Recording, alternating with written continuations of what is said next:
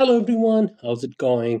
Today we are going to be using Python and machine learning to do some stock prediction. So we opened Yahoo Finance here. We're going to be looking into the Tesla stock.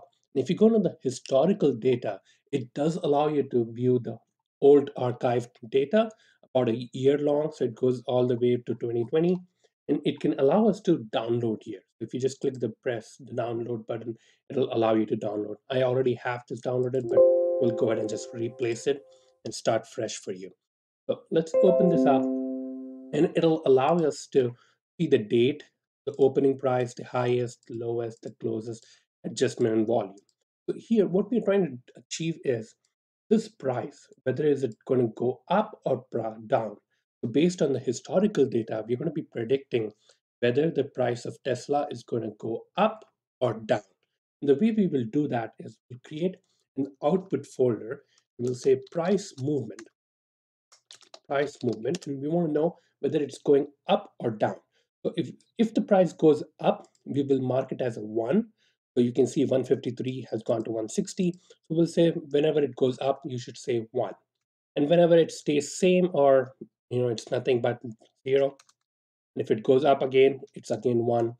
It goes up again, 1. It goes down, 0. But we're just trying to find out whether the price of Tesla is going to go up or now.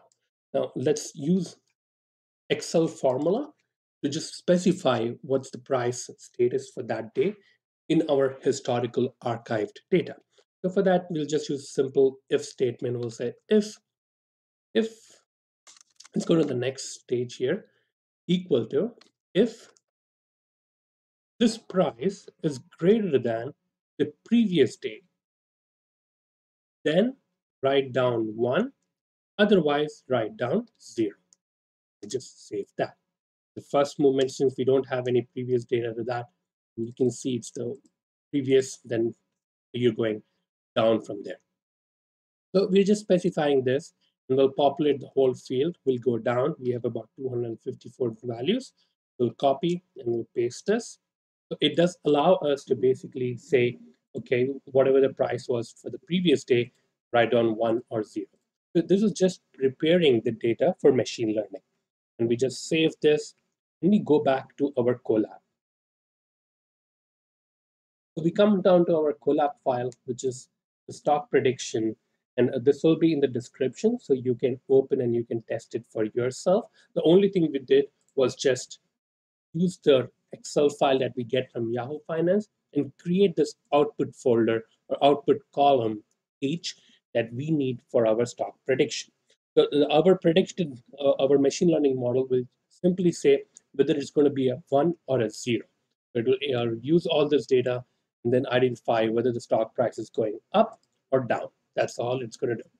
So coming down here, we have the stock prediction. The first step you want to do is read the file from the computer. And for that, we are using Google Colabs import file. Let me maximize this a little bit so it makes it easy for us to see. And let me reduce this. So we are basically first going to be reading the file. We'll say run. And it allows us to choose the file that we want. And we have this Tesla CSV file that we used. It'll pop up here in the directory folder. You can see the tesla.csv file is now ready for us to use. We'll just simply close this for now and come down. So once we have downloaded the CSV file into our Colab, we will then use pandas and pandas to read the CSV file for us. So let me comment, uncomment this and I'll tell you what I'm going to do with that. So you can see this. It's giving us the data, the date, open, high, everything. And the head allows us to read the first five values. It's just giving us the snapshot of the whole data. Now we do need, now what are all the important values that we need for our stock prediction? So everything is important here. You can see the open highs, lows, adjustment column volume, because we will tell our machine learning model to use all this data to predict whether my stock is going to go up or down. Now, this is one erroneous data, which is the date column. This date column has just dates the month, year, the month, year, and the day, which does not make any sense for the machine learning model. For that purpose, I mean, if, if we uh, if we have data that is unnecessary, that is basically noise, it will cause adverse effect on our machine mo learning model. For that purpose, we will delete the date. And for that, we have this particular function drop, which is under pandas. It can drop a particular column that we are not interested in. We just specify the column date and we say in place true. So it does not create another whole data frame. It just deletes it right there and then. And once we delete this, now if we rerun this, you can see now the date column would be gone. We can see now when I reran it, the date column has vanished. So now we have all this information. Go, let's go into the next step. Next step is splitting the data into the input and output, and then splitting it into a training and testing data set. So for that purpose, we will, we will tell our machine learning model that we are interested in this price movement. I'm interested in whether or not my stock is going up or down. So down is zero or and up is one. So I'm interested in whether my stock is going to go up or down. And for that purpose, you can use all this other information, which is going to be your input. The input would be specified by the letter X, and the output would be specified by the letter Y. And for that purpose, we'll say everything which is before the price movement is going to be the X, which is the input, and price movement by itself is the output. So we'll split the data and we'll say data, location, we need all the rows and we are only interested in the columns from 1 to 6. So we have six columns here, one, two, three, four, five, six.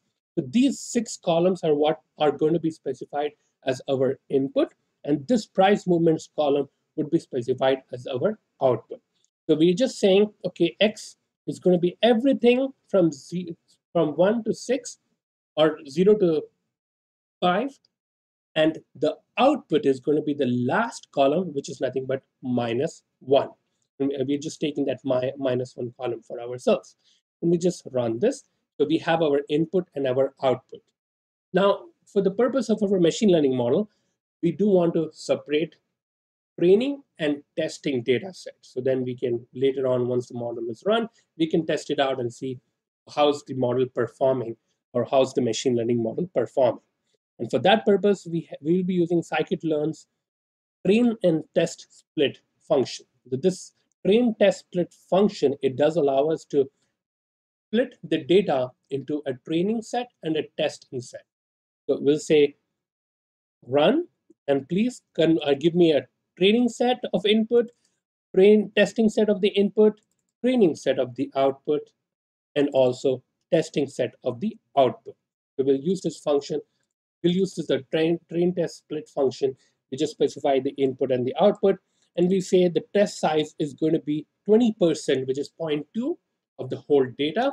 And we are also specifying a random state, which will shuffle the data. So it, the 80 and 20% is not the first half or the first 80% and the 20 is not, not the last 20%, but it's going to randomize the data and it can select uh, randomly 80 percentage of the data and then randomly 20 percentage of the data but once we have everything split then we come down to the meat of the project which is the machine learning model. So everything what we did until this point was nothing but preparing the data preparing the data set creating the testing and uh, training data set. That's all we did.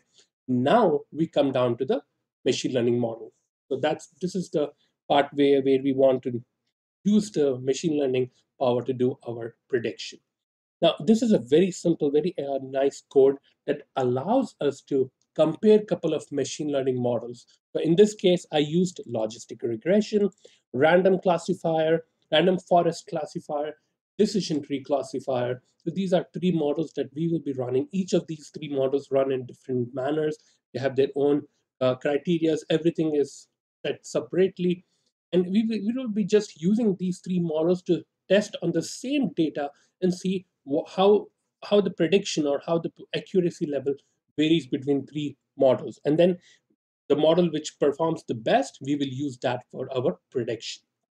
So uh, if you go into the model, we, we run through each model, we try to train the model, and then we do the prediction, and then we create an accuracy score.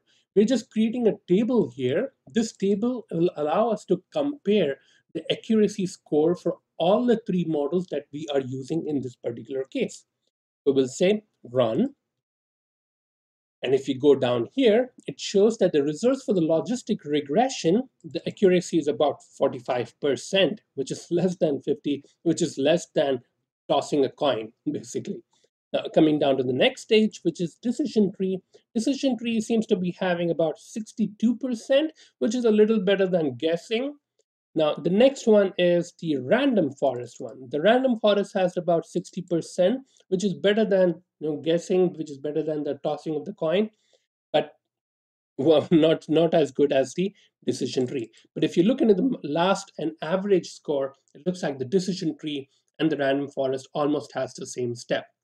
And if we are interested in identifying what the prediction is or what kind of an output we are going to be getting, we then use this particular function.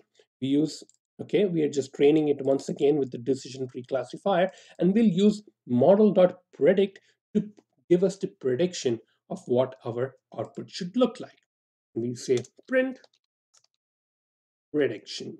We'll, we'll just print, and this is the prediction that it gives us it just specifies us that, okay, the prices are based on the testing value that I have. This is what you're going to be getting. And this is what the model has predicted for us.